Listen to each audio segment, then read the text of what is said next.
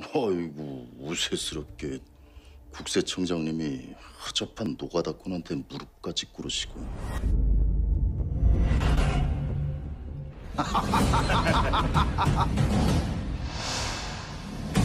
인간의 선한 본성은 말이야 공부 앞에서 제대로 드러나게 되는 법이지 하지 마! 하지 마! 아빠 하지 마! 하지 마! 하지 마! 하지 마!